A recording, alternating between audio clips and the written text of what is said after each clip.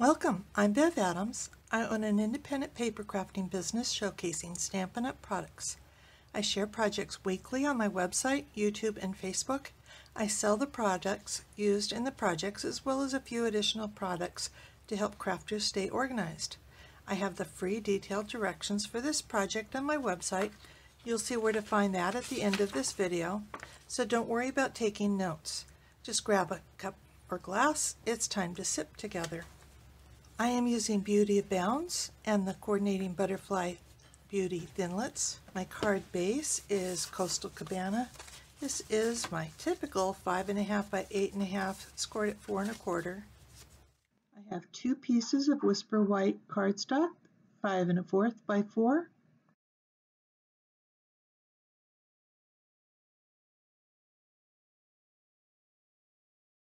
I already cut out my vellum cardstock you can actually cut out two at a time of these. You have lots of pieces with this die set. You have the two large pieces. This piece is a lot finer detail than this one, and you can stack those up together as we will on this project. Plus you have lots of little tiny butterflies and a couple of other larger butterflies and a couple of accessory pieces. I used the not so fine, the thicker piece to cut out my vellum and I've done that already. I saved the glossy white cardstock for the finer piece. I'm actually going to swap out the bottom cutting plate for the precision base plate. Um, it's got the directions here. You're going to want to use the black side up.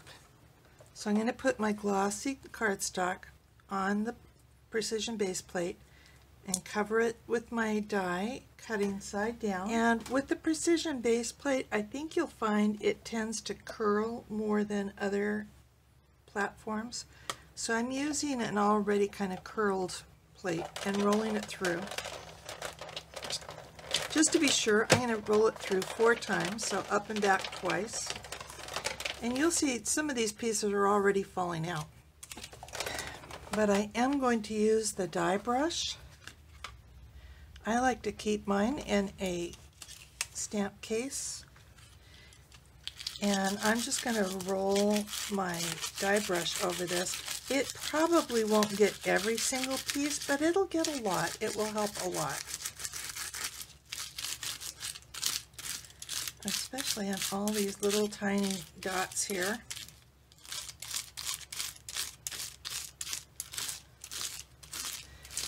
And then I think you'll find you will still need to do some poking. We'll see how I did. These pieces are very fine, so don't just grab and pull. You do want to kind of ease them out of the die.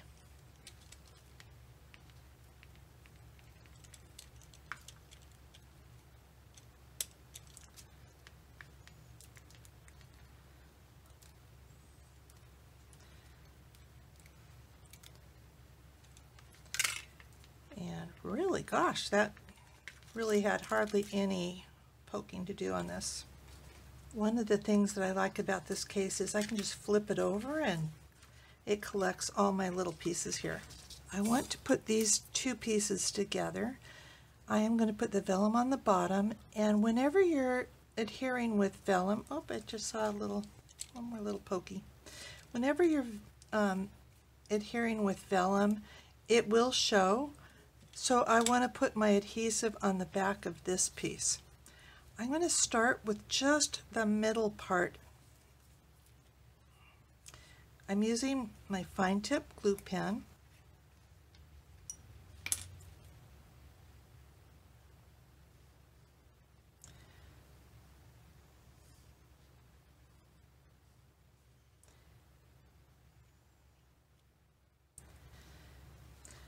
These match, the antennas match exactly. So if you match up the top antennas, and then go to the middle and hold it for just a few seconds as it dries.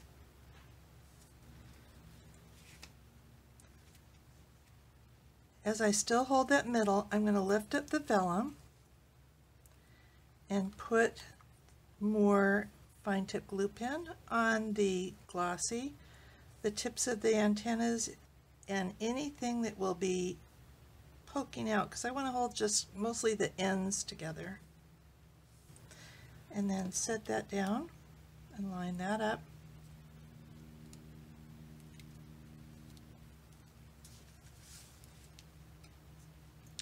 And repeat on the other side. That way there's not so much stretching going on. Um, it gives you more control over the pieces. And I always like to put the top on as quickly as I can so that it doesn't dry up in that tip. And we'll set the, that aside to finish drying. This stamp set has quite a few very lovely greetings. I'm really using just this piece and the bubbles. So I'm going to work on the front layer. I'm using Versamark and I've got my embossing buddy and I'm going to rub it on especially the bottom and the left side of the card and ink up my stamp. And this has a smaller and a larger end. I'm putting the smaller end pretty much in the corner.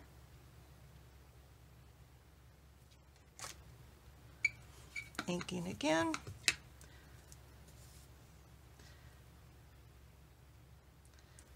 The embossing buddy is uh, kind of a powder that keeps fingerprints and all kinds of things from sticking to the embossing powder. So next I'm bringing in the embossing powder and I've got just a scrap of paper, literally a scrap, and I am dusting on the embossing powder. This is white embossing powder, so it will be white on white. You really probably won't see much of anything.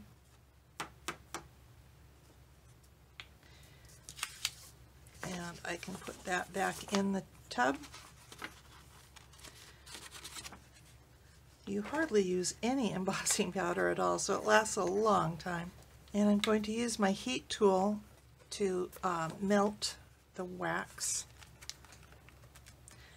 As it melts, it will turn kind of from a powdery look to a shiny, smoother look.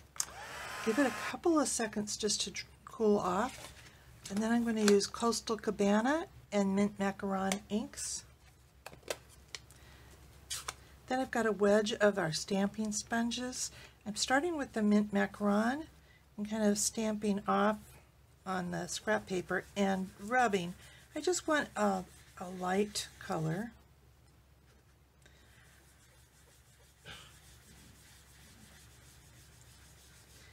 And the embossing that we did, it doesn't stick to the embossing much. And so that shows up a lot I just kind of want to fade it into the top of it. And then I'll do the same thing with the Coastal Cabana on the top part of the card.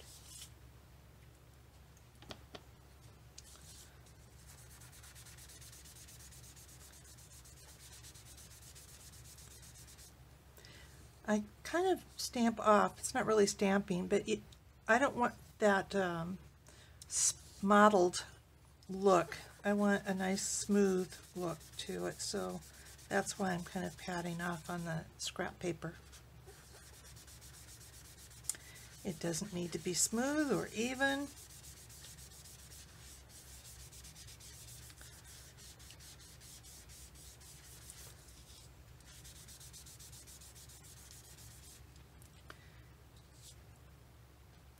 And then I'm using the little bubbles on the top, and I am going to use the Coastal Cabana.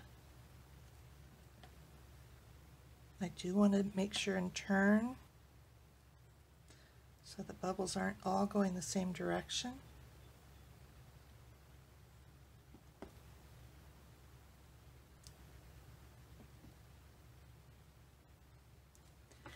And I'll use the larger one in the mint macaron on the bottom.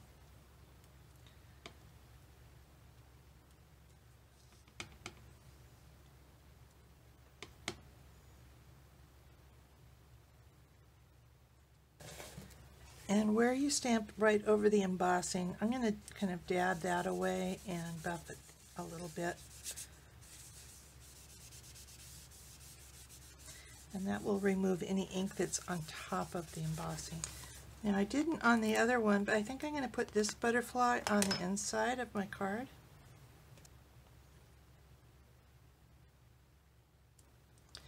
And maybe even some bubbles.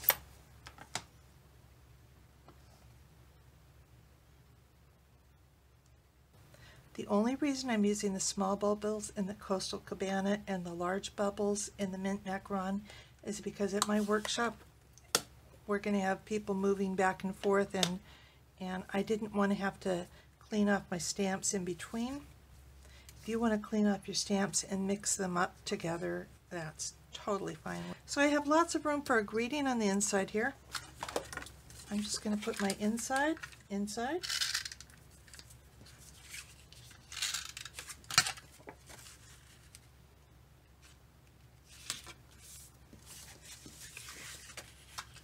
and my stamped and sponged. This goes on the front.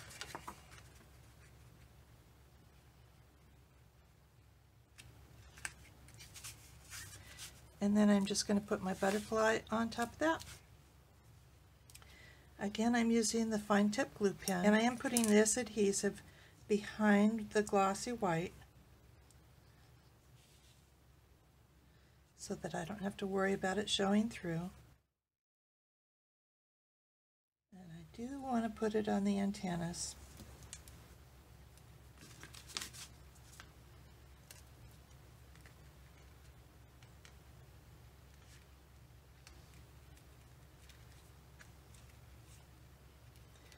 Again, you kind of have to let this adhesive sit for a little bit as it dries and I'm pulling in some pearl jewels.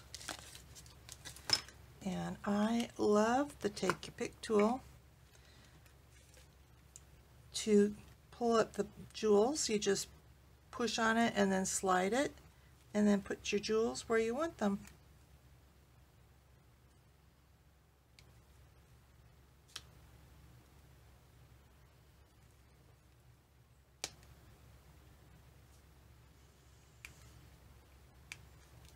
And with this card you can put as many or as few as you want.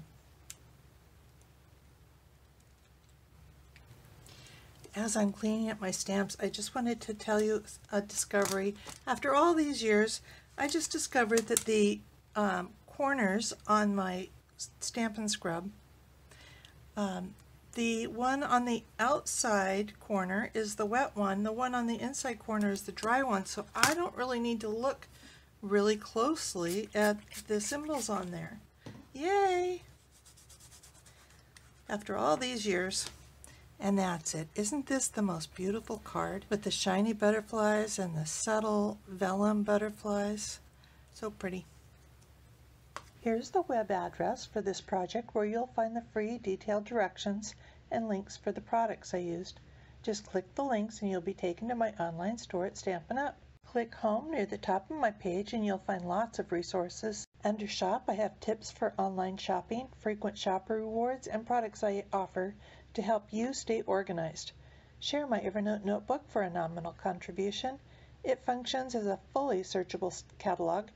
I offer a cardstock sampler, taggers to help you identify those dies with lots of similar shapes, heavy duty bags to store 12 by 12 and 6 by 6 paper, and a bow maker.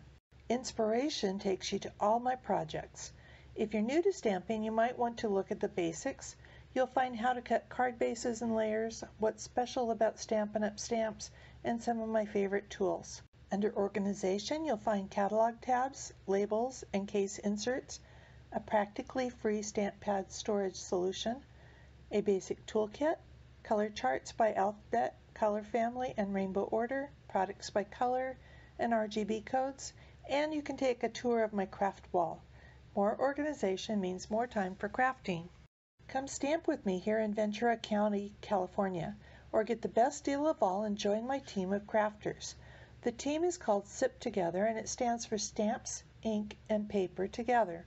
The team is made of crafters who want to save money on the products they buy, share with a few friends, or to grow a business like mine. Be sure to subscribe to my website and on YouTube. I'd love to hear your comments. Thank you for joining me. Talk to you soon. Bye.